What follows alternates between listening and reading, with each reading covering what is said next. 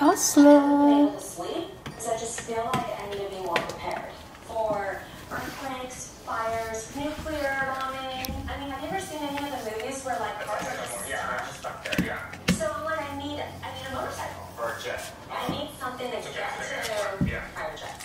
What, what are you talking about? Is the black motorcycle? Like, I'm just so... Show me the brush. Like six inch Jimmy Choo's.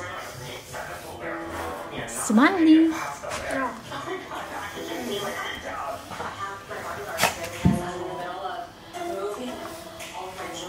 from the